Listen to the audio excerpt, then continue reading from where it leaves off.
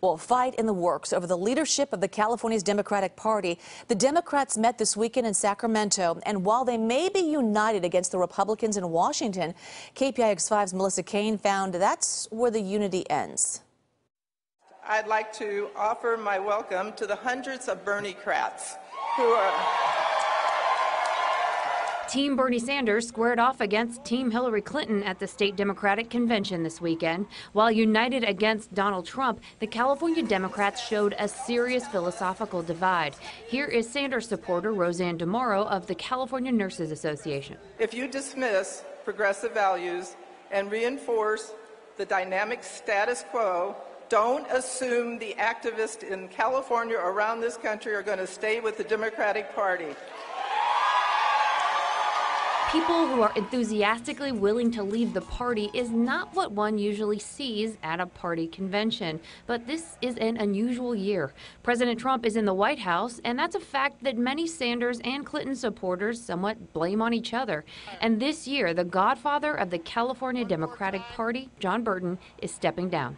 Now are you happy and be courteous to the speakers?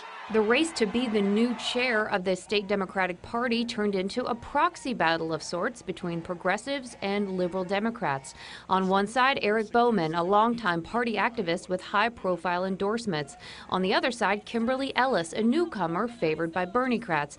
Both candidates said this race is about more than California. We all know that California must lead the resistance today and that it's up to California to define the progressive agenda, not just for our state, but for the entire nation. Make no mistake about it, California. At this moment, all eyes are on us. The country is waiting to see what we do next because California doesn't follow the trends. We set the trends. Even just walking around the convention, you could see Bauman supporters and Ellis supporters having heated exchanges and arguments, so emotions were running pretty high.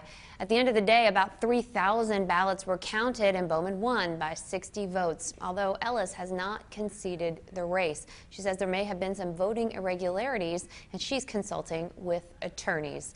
Melissa Caen, KPIX 5.